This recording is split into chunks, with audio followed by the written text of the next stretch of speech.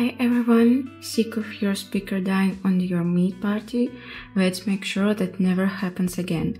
We will show you how to easily charge your JBL Go 3 so you can keep the good times rolling. When it needs charging, keep an eye on the little LED next to the power button. When it starts flashing red during use, it's time to give your speaker some juice.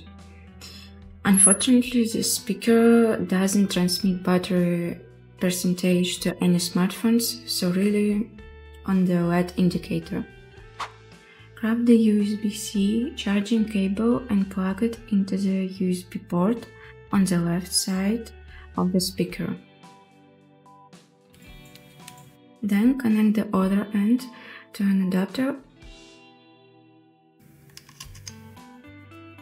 and directly to the power source. Once you're all set up, the LED uh, will glow red, indicating that it's charging. Feel free to use the speaker while it charges. You can connect through your laptop or other device with a USB port. It takes about two and a half hours to reach a full recharge. When fully juiced up, the LED will turn off.